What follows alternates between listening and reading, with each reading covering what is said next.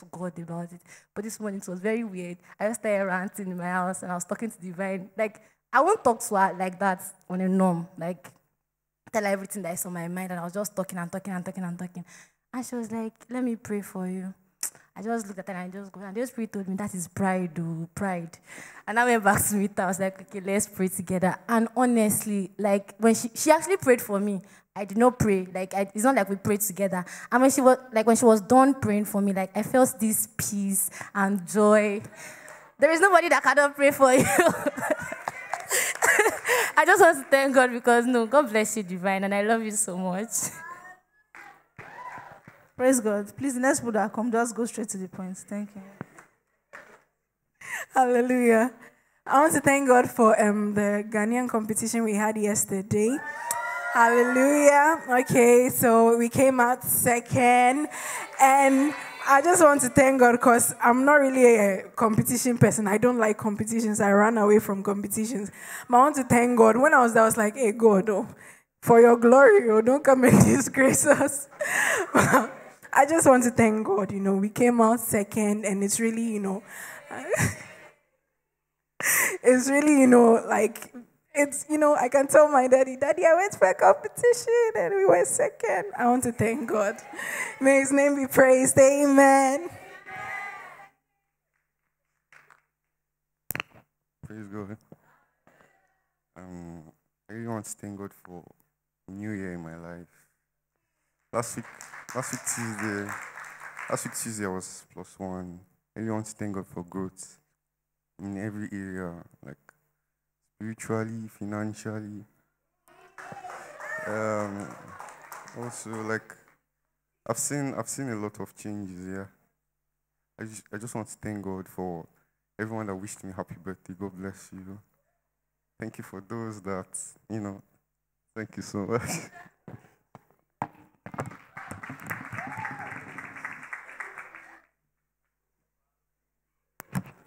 Amen. Seems I'm the last person, so I'll take my time, okay? How many of you are happy to be here today? Tell one another, I'm happy to see you. Amen. Okay, I want to thank God for my life. Um, Amen. Yeah, I want to thank God for my life, for everything that has been going on. Yeah, you guys don't understand, but a lot has been going on, and looking at me from home, I don't think I can handle these things like before, but now, like I wake up sometimes and be like, Prince, oh, wow, you're strong. You're a man. I, I came here a boy, but now I'm a man. Amen. And I want to thank God for some people in my life. Ruben, stop stretching. I'm not calling. I want to thank God for Ola. Ola has been very nice. Doesn't know how to show emotions, but he tries though. To every one of you, Blingy, Favor, Flourish. Okay, Jennifer. Amen.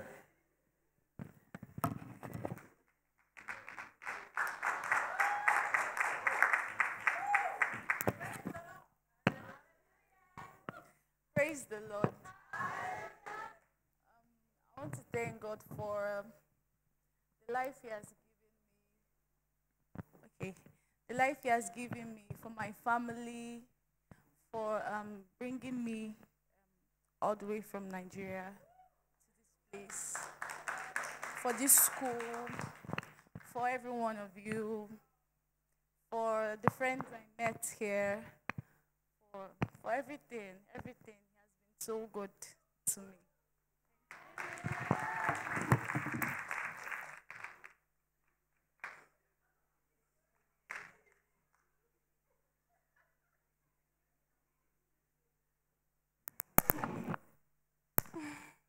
Praise the Lord. Um, I want to thank God for I want to thank God for what God has done for me. as in my family, the gift of life. There is um, a big change, like a transformation.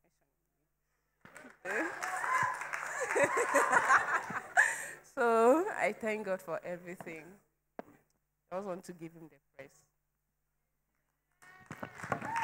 I'll give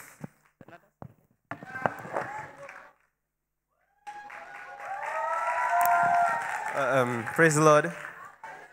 Um, my name is Genesis Idewer. Um, I want to thank God for my life. Um, I traveled um, from Nigeria. I think that was Thursday, and I arrived um, Sunday, 4 a.m. Right.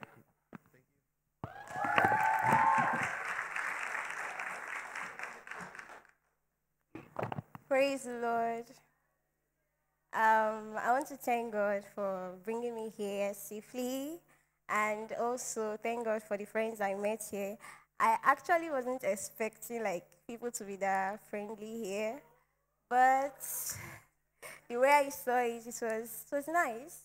So thank you.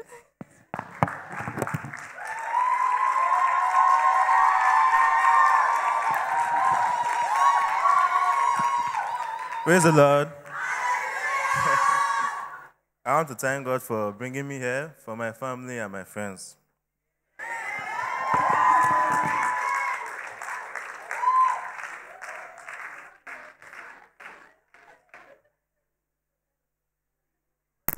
Amen.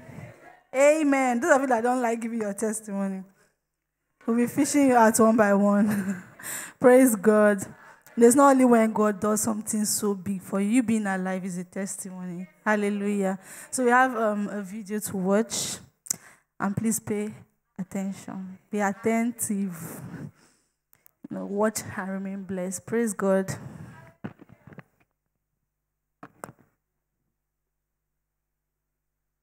and think about God. Many people are thinking about God today because we've seen that science does not have an answer to all of our problems. We are seeing that technology cannot solve all of our problems. And so thousands of young people in Europe and in America are beginning to talk about God. Some of them are going to India to see if they can find peace in their hearts.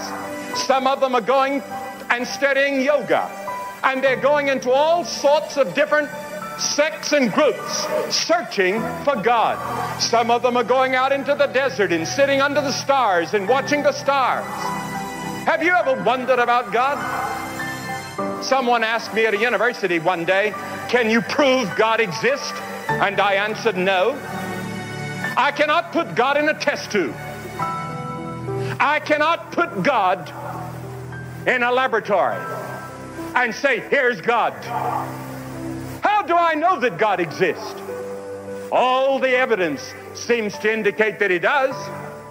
I look up in the starry sky and I say, There must be a God. I look at the beautiful nature round about me and I say, There must be a God. I see the birth of a baby. Gary Player was telling us yesterday how he saw the birth of his last child. And he said, As I watched that, I knew that there had to be a God. But there's another reason. Deep in your heart, you have a conscience. And your conscience tells you there must be a God. Something down inside tells me there must be a God. And the Bible tells us that this God is the creator of all the universe. In Genesis 1 1, in the beginning, God created the heavens and the earth. Now, in that passage in Genesis 1, there is no explanation, there's no attempt to prove God. It just says, in the beginning, God. Because everybody believes in God. Oh, but you say, I've met some atheists.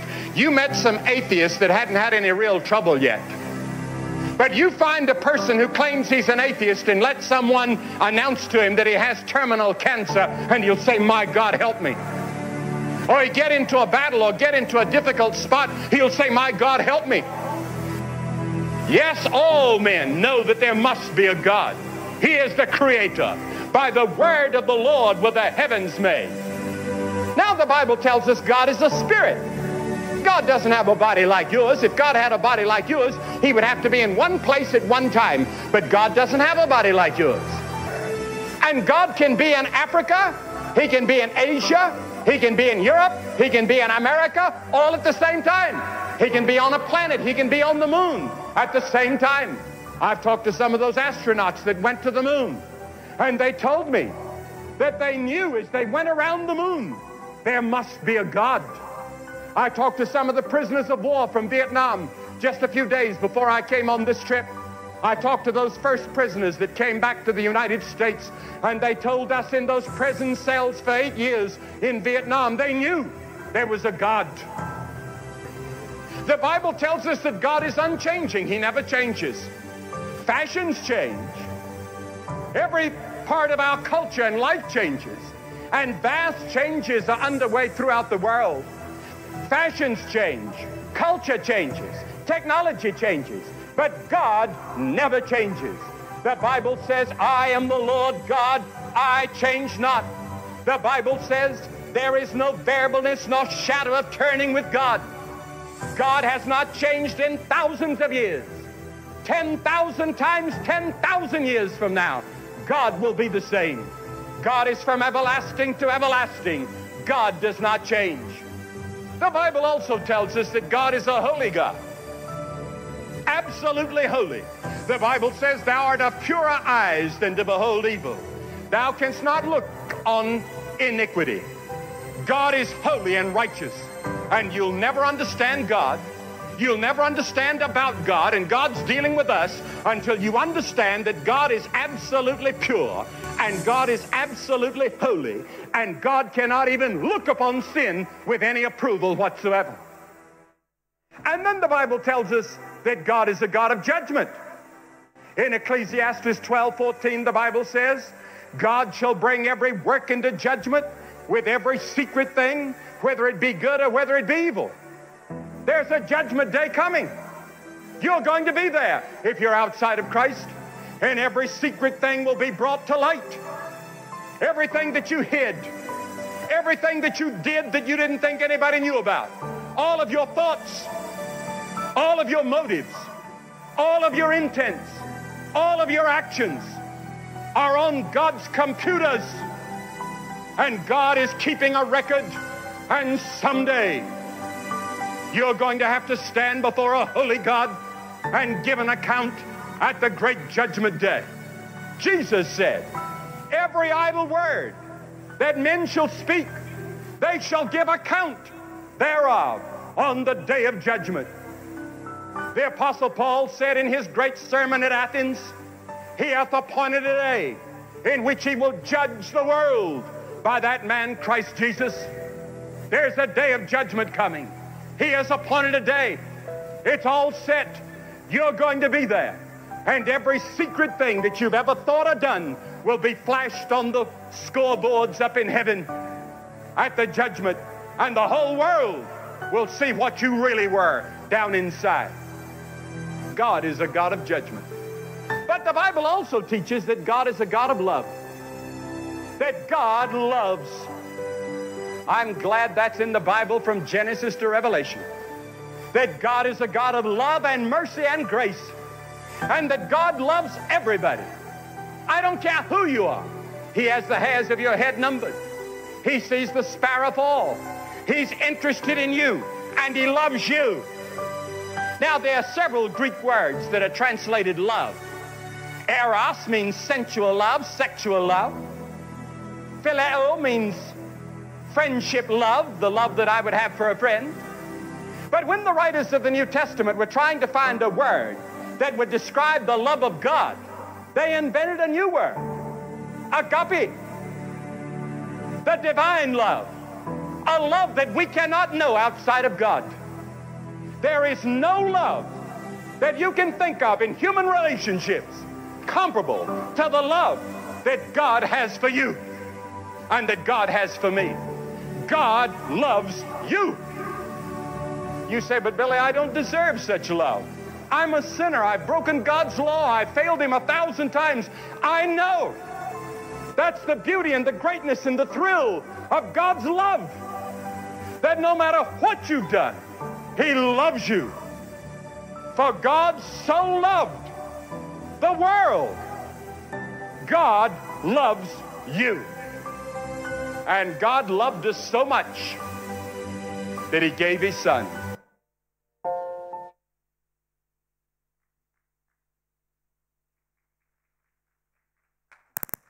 Praise the Lord.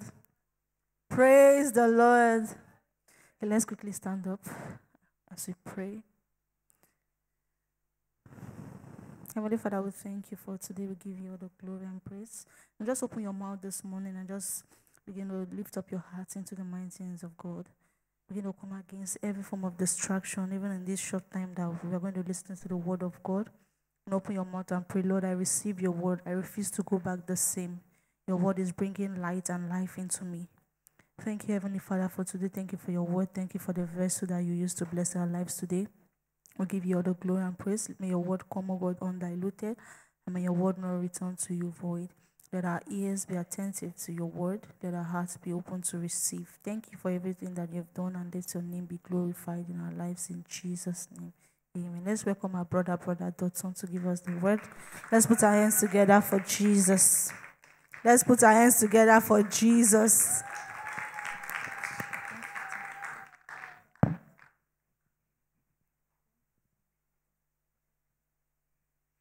Praise God. As I finished my time, oh, yeah.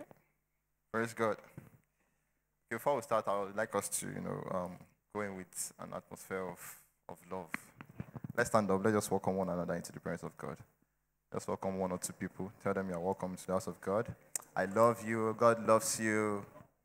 Share the love. Share the love. Just throw it. Just throw it out there. Just throw it out. Like, throw, it, throw the love out. Amen. Praise God. Now, this is something you're supposed to do each and every time you come to the presence of God. Love you to Perpetua. God bless you. Lady Perpetua that loves me in this in this this building. Praise God. Blessing doesn't even love anybody. Amen. Um, praise God. So today's topic says the faith of the foreigner. Hallelujah. Heavenly Father, we thank you, Lord Jesus, for this day. We bless you, Heavenly Father. We ask, Lord, that you teach us your word today. But I will pray that your word is going to pierce our hearts in the mighty name of Jesus and it's going to bring forth growth in the mighty name of Jesus and bring forth good fruits in the mighty name of Jesus. Thank you, Heavenly Father, for answered prayers. Amen. Praise God. So let's quickly open our Bibles to Matthew chapter 8 from verse 5 to 13. That's Genesis. Genesis. How are you? Good. You should be helping us with the Bible today, right? Will you do us the honor? Hmm?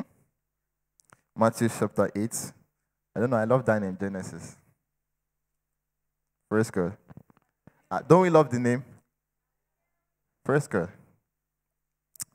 Matthew chapter 8. Are you there? Okay, read it. From verse 5 to 13.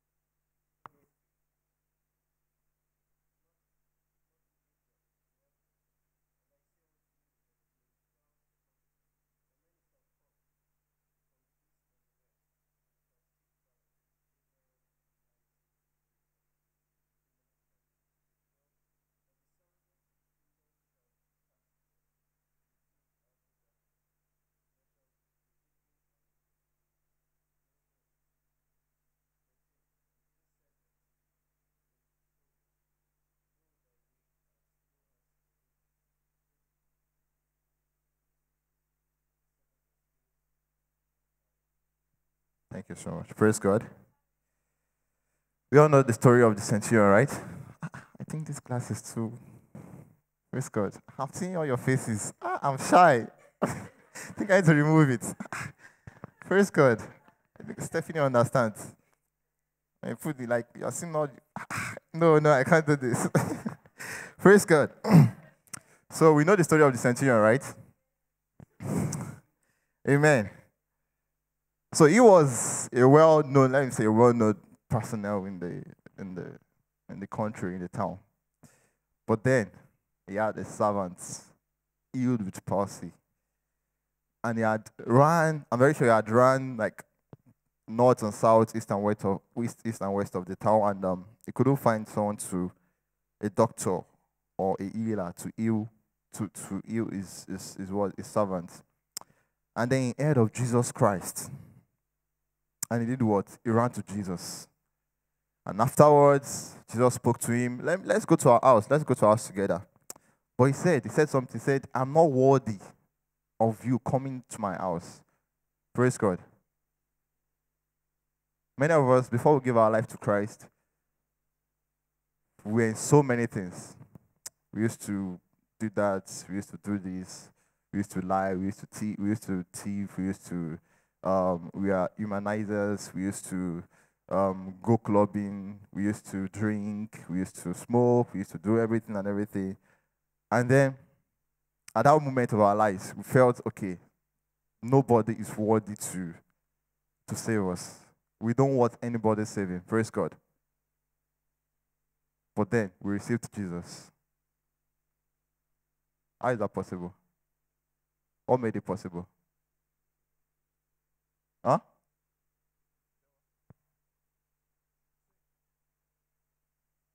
The Holy Spirit, praise God. The Holy Spirit, that is the key. The Holy Spirit made it possible. Bible says we are saved by by grace through through faith. The Holy Spirit ignited the faith in us. Praise God. And today we're talking about faith. Faith of the foreigner. Okay, let's define faith. What is faith? Hebrews chapter 1. Chapter 11, verse 1. It says what? The substance of what things hoped for. The evidence of things not seen. So that means faith is not faith if you've seen it. Praise God. If you've seen it physically, then what you are what you are trying to, I don't know, to possess, I don't mean it's just logic. Praise God. So if it's if it is seen already, you can't classify it as faith. But then there's an evidence of sight with faith. Substance of things hoped for, the evidence of things not seen. The evidence there is seeing it before seeing it. You get what I'm saying? The evidence is the spiritual sin. This man had faith. He was he, he, he must have left, I don't know, he, he must have left, maybe he traveled all the way from, from Ghana to Ukraine looking for Jesus, just for example. And he saw it. Praise God. Well, many times we believe we believe um, if you are not a believer, then you don't have faith. No. Unbelievers don't have faith too. Praise God. Unbelievers have faith. But then what is their basis of what is the basis of their faith? That's the question you need to ask yourself. The base of our faith as Christians what? Christ. Praise God. Is God. Now, he, he saw, he already saw it, but he never had it like, I don't know, literally. So he did what? He, he sought God. And God brought it, brought him, brought it to him from his own imagination to life.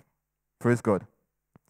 We say what? Faith is the substance of things hoped for, the evidence of things not seen. Meaning, if it is seen before, then it is not faith, it is just logic. That is why people that is why people laugh at you because their eyes are filled or are built to the spiritual uh, sorry.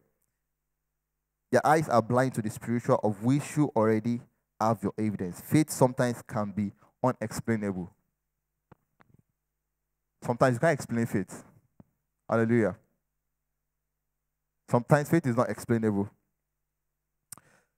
Let's continue. It says, um, faith as, okay, I, I wrote down here, faith as as an adverb, as a spiritual adverb. Praise God. You know, most times we say faith, faith, faith, faith, and um, we find ourselves in some situations whereby we can't express faith. We can't just, at that moment, God is like, God is not into, like, God is nowhere to be found to us. Praise God. Today, I define faith as an adverb, meaning it comes, it's, it's, it's a word before an action. Praise God, right? Adverb is like the, the, the word that does what? Qualifies an, a verb. Praise God. Faith qualifies your action. Do you get what I'm saying? we go come.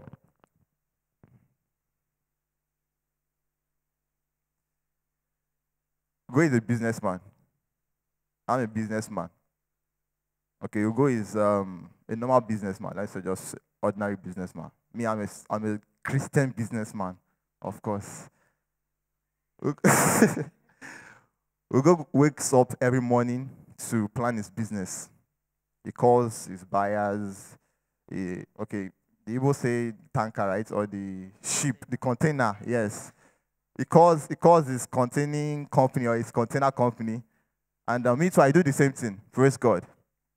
But on this faithful day, Ugo woke up in the morning, prepared everything. How the day supposed to go?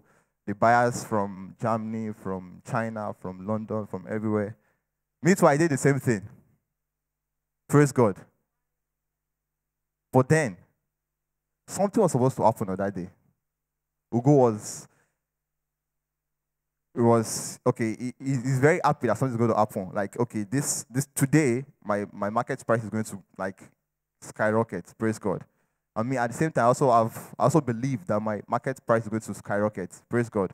But me, I prayed about it. I had faith. But Ugo, being that the market price was was like okay, it was a bit low yesterday. So his own belief is on the logic that because the market price was low yesterday, it's going to rise today. But me, okay, though I already know too that market price was already low, and I believe that it's going to rise today. Praise God. But me, I specifically prayed for the market price to rise. Praise God. Now, we are both performing actions, right? Ugo is performing action based on logic. But me, I'm performing my action. I'm calling my buyers based on what? Based on faith. You can say it's the same thing. But then what brings out the difference is the faith that I have. Praise God. Thank you. Amen. So faith comes before action. It brings the action to reality. Praise God. Faith is not logical, it's benches logical. Praise God. I'm, I do not know how many of us watches match here. We don't, don't watch match. Match can come on, put your hands down. Come on, guys. Uh, does how many of us know Lukaku?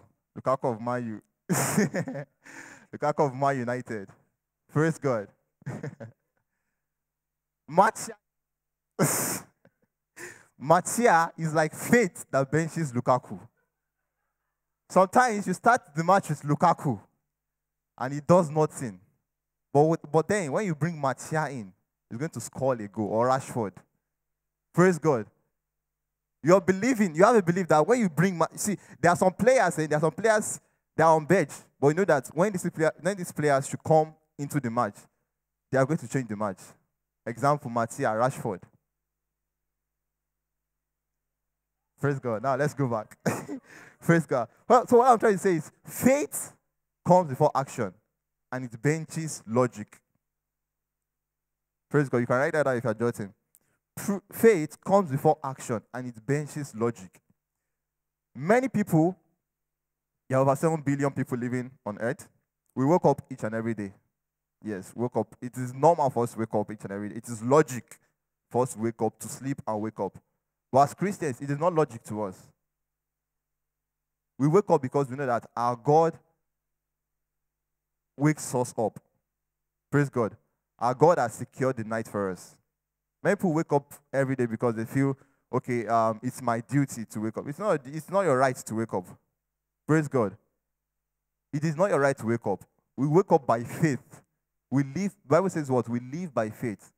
So faith is supposed to be a, an everyday something in every action that you make. Praise God. Um okay, let's read from verse 5. It says, um, and Jesus went and Jesus was entered into Capernaum. There came unto him a centurion beseeching him, and saying, Lord, my servant lies at home, sick of palsy, grievously tormented. And Jesus said unto him, I will come and heal him. The centurion answered and said, Lord, I'm not worried that thou shouldest come under my roof, but speak the word only. But speak the word only. Praise God. At that moment, he, was, he has been convicted. He says, But speak the word only, and my servant shall be healed. For I am a man under authority, having soldiers under me. And I said to this man, Go and go it, go and he go it, and to another, Come and he come it, and to my servant, Do this and he do it. Praise God. You can read from Hebrews. Let's open our Bibles to Hebrews. Hebrews chapter 11. I want to read out some some um, heroes of faith to us. Hebrews chapter 11. You are there, you can read it. Okay, Hebrews chapter 11. Let's start from verse from verse 5, from verse 4. It says, By faith Abel offered unto God a more excellent sacrifice than Cain. Praise God. The action was what? Offering the sacrifice. Verse 5 By faith, Enoch was translated that he should not see death and was not found because God had translated him for before his translation, he had this testimony that he was he pleased God. Bible says it is impossible to please God without faith. Is what it is impossible to please God. So as Christians, we need to live by faith each and every day. Verse 7 By faith, Noah, being warned of God of things not seen as yet, moved with fear, prepared an ark to, to the saving of his house, by which he condemned the world and became heir to the righteous which is by faith. Praise God. Faith is not you receiving the promise and just sitting down. Praise God.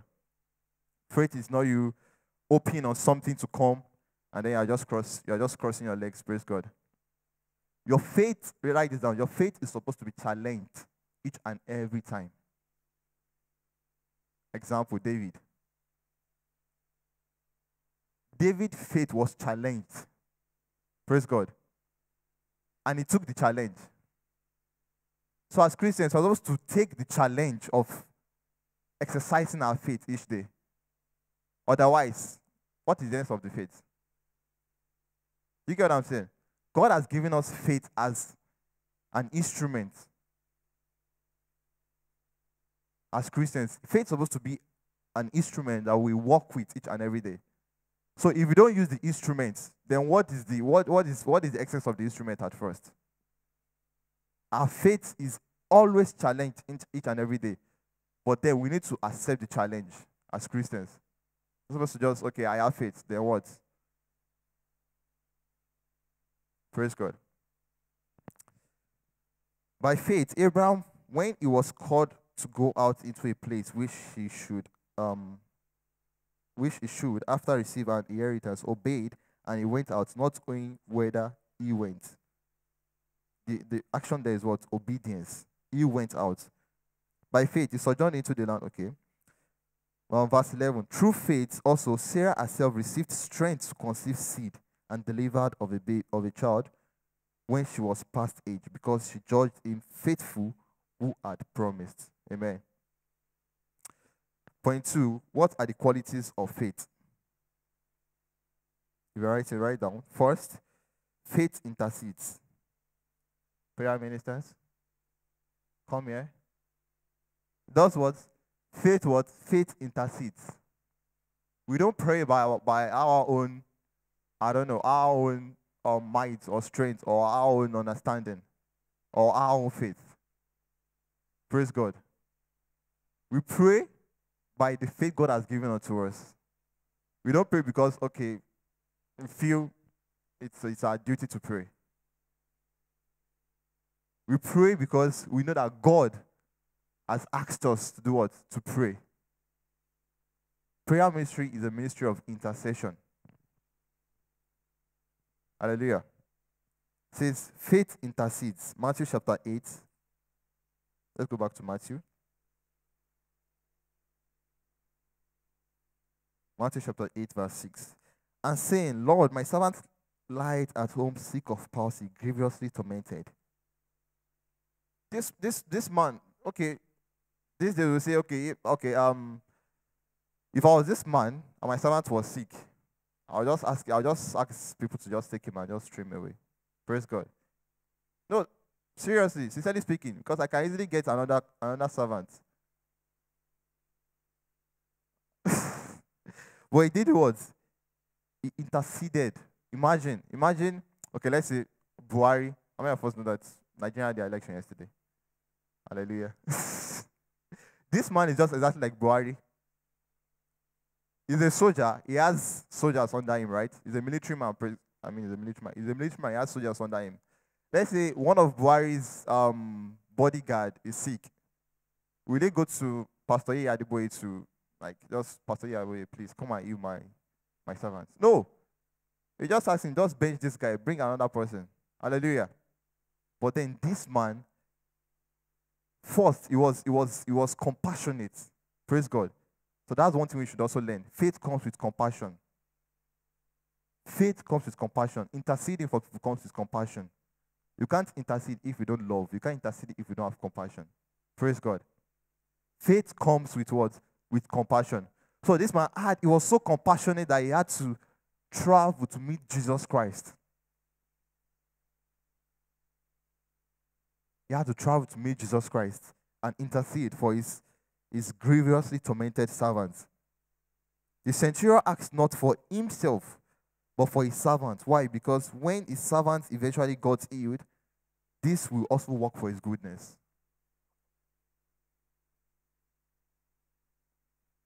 If you're writing down, write this down. The centurion asked not for himself, but for his servant. Why? Because when his servant eventually got healed, this will work for his goodness. Faith intercedes. First quality of faith. B. Faith loves, oh, sorry, faith have principles. Faith have principles. Verse 9. For I am a man under authority, having soldiers under me. And I say to this man, Go and he goeth, and to, to another, Come and he cometh. And to my servant, Do this, and he doeth it. For um, the sub points under faiths of principles. Submission. Submission. Know how to walk under the authority. We call ourselves Christians. No, many times we, we, we, we don't get the. No, I was I was I was preaching on, on Friday. I was telling my cell group members about the blessings of forgiveness. No, when I when I was when I was meditating on this, but I was my mind was was blown out Many of us, we are still blinded to the blessing. Don't, let, let us not be distracted. Praise God. We are still blinded to the blessings that comes with forgiveness. In the sense that, like I explained to them, forgiveness is like a package, it's a gift. Praise God. I'm giving you this gift. It is your choice to accept or not to accept. Praise God. But at that moment when you accept, you're accepting everything that comes with this gift. Praise God. Likewise, forgiveness. God sent his only begotten Son to do what? To die for us on the cross of Calvary. To restore us back to the relationship that was once lost. Praise God. And this package of forgiveness has so many things. It has blessings, it has grace, it has excellence, it has light, it has favor, it has everything. Praise God. But many times we are still blinded to all these blessings and packages forgiveness. Likewise, the authority of a believer. I don't know, believers. Sometimes I just wish, I just wish we can just maybe go back to heaven and come back to it. Hallelujah. Say submission. Know how to walk under authority. You see, God has given us authority that that is undescribable. Praise God. Bible says, if you would have faith, not doubting, if you say to this mountain, be moved. No matter times we, we think, okay, this thing has happened, like it has happened in the past, so I beg, it's it's it doesn't seem so visible to happen again. No, you can see how it will still happen. Praise God. Believers, believers are like uh, okay, these these days believer like um how do I put it? We are like I don't even know the example to use now. Okay, we are there, but then we are still blind. Praise God. We know God, but we are still blind. Aha, example. Just like our chemistry in secondary school. We know our chemistry, but then it's still abstract. It, see, it's, it seems blind to us. Praise God. You get what I'm saying? Have you ever read chemistry? Like, you know that, yes, I read this thing very well. Like, you studied very well for it. And then on that exam, there's like, you never read it. Praise God. These days, Christians, that's how we are. We need to understand the authority God has given unto us. Um, second point, that's a point. Obedience. Know how to use the authority.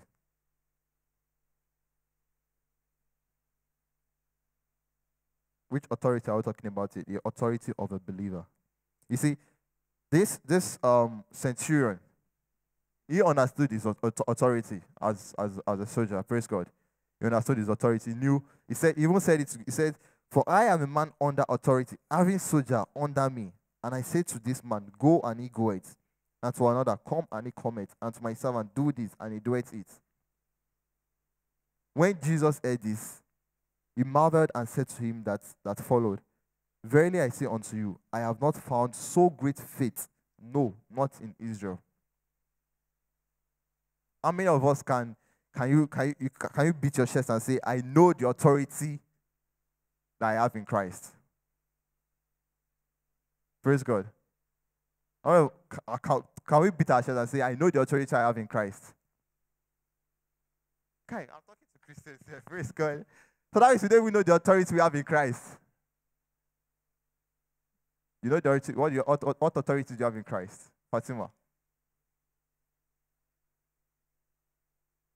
There are plenty. Tell me one of them. Praise God. This man was boasting. He was boasting. Have you ever met someone that is boasting to you before? Is who can boast? Ha! Hmm. When he's, when he's explaining cars to you like this, oh my God, he's will be like, hmm. As I handle that car like this, your spread to like 120, 150, 180. I was just going. Praise God. Why? Because he understood everything that pertains with cars. When he's telling you about cars, like all these new cars, a, a Mazda, sorry, is it Mazda or Benz? Uh, Mercedes Benz, S, S, this one, C class, E class. He knows everything. That's the man that knows his authority. In cars, praise God. He knows, no, why? Because he has studied it, he has had experiences with it. Praise God. So at that moment, he's able to boast. See, do you know that Boasting. See, when you know something, when you know something, you are not actually boasting. Praise God. When you know something, when you can back up what you are saying, at that moment, it's not like you are boasting. Or don't let me say, okay. It's not like you are um you are making the others to be inferior. Praise God. Except if you now want to make them inferior. But at that moment, you are explaining because you have more than enough inside of you. Like it's burning out, like it's it's erupting, it's overflowing. Praise God. You get what I'm saying? So at that moment, you won't say it is boasting. It is just natural for you to give out. Hallelujah. It is natural for you to give out. Why? Because you have more inside of you. Likewise, as a Christian, authority doesn't come with you just being a Christian. It comes with you going back to that secret place. It's, it comes with you know understanding more of God, studying your word, praying for more and more encounters with God. Because it is out of these encounters that you can you know, go outside there and even talk to someone about Christ. It is out of these account that you can go outside there and share your testimonies with people and they will believe you. Praise God. Hallelujah. Um, next it says um consecutive. Okay, yeah, consecutive. Faith, faith have principles. Third subpoint says consecutive. It goes step by step till you see the results. Faith goes step by step until you see the results. See, faith is the language of the spiritual world. Matthew chapter 8, verse 8. The centurion answered and said, Lord, I am not worthy that thou shouldest come under my roof, but speak thy word only, and thy servant shall be healed. Like I said before, he never, he never saw, like he never knew it would happen. But he already saw it. Praise God. Literally, he never had the, the word of God, the, the, the, he never saw it, praise God. But then he already knew that he, it would happen. So faith brings what? The spiritual to the physical. It's the language that connects the spiritual world and the physical world. Praise God. Faith cannot be in silence. No. Faith cannot be in silence. Um, Matthew chapter 8, verse 10. Then when Jesus heard it, he marveled and said to them that followed, Verily I say unto you, I have not found so great faith, no, not in Israel.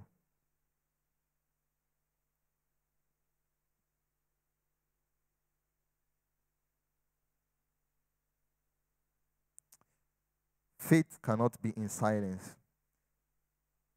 Point D says, faith receives, accepts the fulfillment of the promises. See, there's a difference between receiving and accepting. Praise God. You can receive something, but not accept it at the same time. Faith receives, accepts the fulfillment of the promises.